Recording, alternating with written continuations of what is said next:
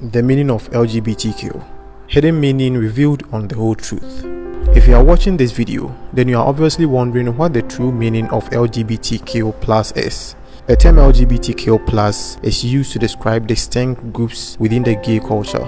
LGBTQ is an acronym for lesbian, gay, bisexual, transgender, and queer or questioning. Some people also use the Q to stand for questioning, meaning people who are figuring out their sexual orientation or gender identity.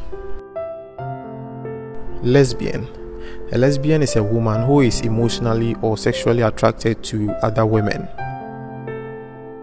Gay a gay is a sexual orientation that describes a person who is emotionally or sexually attracted to people of their own gender, commonly used to describe men.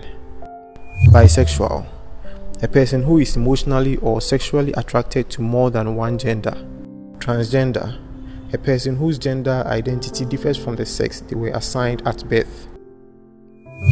Queer or questioning lesbian, gay, bisexual, and transgender people may all identify with the word queer.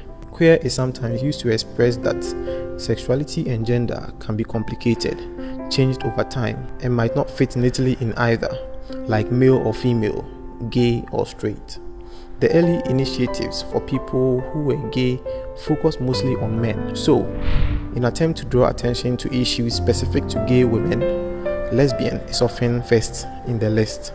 As mentioned earlier, queer or questioning is also used to refer to people who are figuring out their sexual orientation or gender identity. If you have any comment or suggestions, feel free to leave it in the comment section below and let's interact. If you need other people to see this video on the YouTube homepage, please click on the like button. I'm sure others will love to know the true meaning of LGBTQ as well.